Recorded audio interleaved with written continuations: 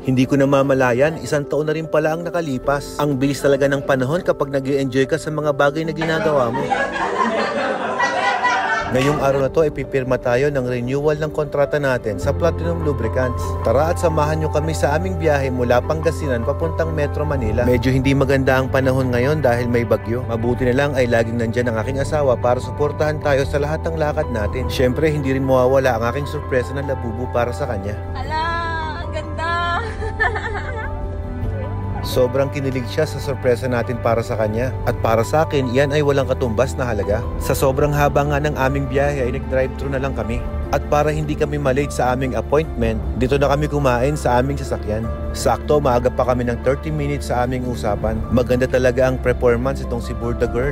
Alagang platinum lubricants din yan. At sa wakas ay nakarating na nga kami dito sa Oracle Corporation. Dito ay magalang nga kaming sinalubog ng mga staff nila.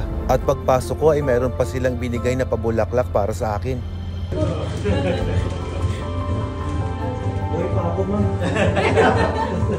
Agad ko nga tong ibinigay sa taong binibigyan ko palagi ng bulaklak. Ilang sandali pa ay dumating na nga ang CEO ng Platinum Lubricants, si Sir John Kevin C. na para bang tropa lang din naman namin. Know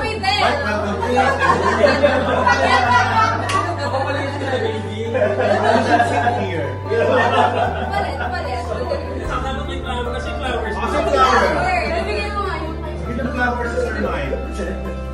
Ito yung sinasabi ko sa inyo na parang hindi naman kami nagtatrabaho sa kumpanya niya. Na para bang naglalaro lang kaming lahat. And everybody is happy. I'm sure hindi naman kami i-renew kung hindi naman siya satisfied sa aming performance. Ilang sandali pa nga lang ay binigyan ako ng bago naming uniform. Siyempre, susukatin ko muna kung kasya ko ba yung uniform kong bago. Maganda at sakto naman sa akin yung XL. Pero feeling ko medyo pumayat na ako kaya mas bagay ko na yata ang large. Binigyan din nila ako ng polo na uniform namin. Anong, anong gas mo? Premium? Regular? Ah, may diesel din kami. Ang sarap talaga magtrabaho kapag feeling mo part ka ng pamilya nila. Yun bang open silang makinig sa lahat ng opinion na gusto mong sabihin? At yan ay para din naman sa ikai-improve ng aming mga produkto na binibigay sa mga tao. O pwede nang maging model oh. Konting plancha na lang ay ayos na ayos na. Okay na sana kahit lukot mayaman ang dating. Pero mapilit sila dito kaya pinalansya pa rin nila yung damit na suot-suot ko. Kaya lang mainit pala kaya hinubad ko na lang. Ayan para ma-plancha na lang maigi yung damit na susuotin ko para mamaya. Halata namang nag enjoy lang kami sa mga bagay na ginagawa namin dito. Ilang sandali pa nga ay dumating na si Yana Aguinaldo dito sa kanilang opisina. At sa araw ngang ito, dalawa kaming i-renew ng kontrata ng Platinum Lubricants bilang kanilang brand ambassador. Kaya sa susunod na mga video natin ay baka makasama rin natin ulit si Yana. Parehas lang pala kami ng damit na susuotin ni Yana dito. Mas presentable talaga pag bagong plancha ang polo. At dahil ready na nga ang lahat, didiretso na kami doon sa aming conference room. At dahil maaga nga akong dumating, ay dalawang beses akong binigyan ng welcome flowers dito. Alam niyo bang first time kong pipirma ng kontrata na naka-live telecast pala ito sa kanilang Facebook page? Kaya kung gusto niyong mapanood ang full video na ito, ay pwede niyong bisitahin sa mismong page ng Platinum Lubricants. Dito nga ay nag-meeting kami kung paano yung mga tamang diskarte namin kung paano mas mapapalakas ang aming sales. At dahil ang hanap ko ay long-term partnership, syempre ang goal natin bilang kanilang brand ambassador ay mapalago pa lalo ang kanilang kumpanya.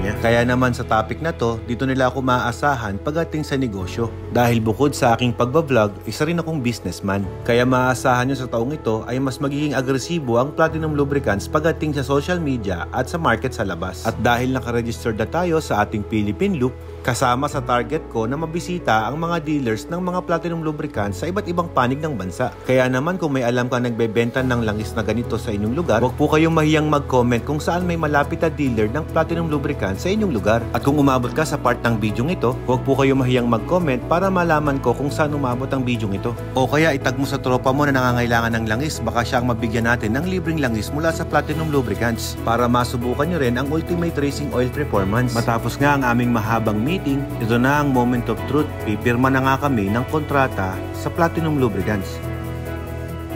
Matapos nga naming pumirma, inarbor ko na rin yung ballpen na ginamit namin. Lahat na nakaupo sa table na ito ay kailangan pumirma.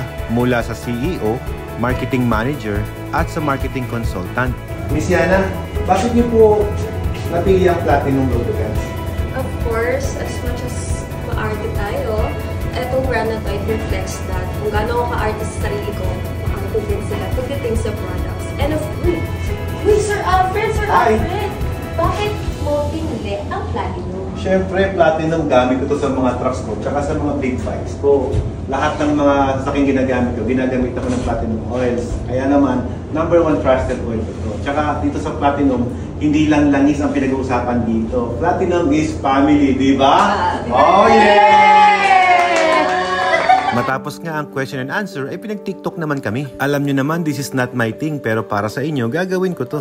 Of course, hindi mawawala ang picture taking kasama ng mga staff ng Platinum dito sa kanilang opisina. Matapos nga ang masayang seremonya ng kanilang pagtanggap sa amin, miretso naman kami dito sa Lolas para kumain ng aming Si tanghalian. Lolas, mamaya na lang natin po. Ano At na si nagluluto po tayo ng igado. Kuya sir, nakaserve po tayo, table 15 po, for 15 bucks. Ma'am, good afternoon, welcome to Lolas. Lolas. Dito tayo sir. First time kong kumain dito sa Lolas. At ang pinaka nagustuhan ko dito ay ang spaghetti na merong aligi ng alimango. Siyempre, wag natin kalimutan ng magdasal para ipagpasalamat ang mga blessing na natanggap natin sa araw-araw. Grabe ang sarap niya. The best ito para sa akin. Kaya kung papasyal kayo rito, i-try nyo po itong ganitong klaseng dish. Pero alam nyo ba ang mas masarap dyan ay ang sama-sama kayong kumain ng magkakasabay. Finally, nakauwi na nga kami sa aming tahanan. Si Mrs. ang nag-drive sa akin mula Maynila papuntang Pangasinan. Sa lahat ng mga bumibiyahe pa ngayon, mag-iingat po kayo, masama po ang panahon. Pero kahit na ganon, palagi nating isipin na palaging may blessing na dating para sa atin.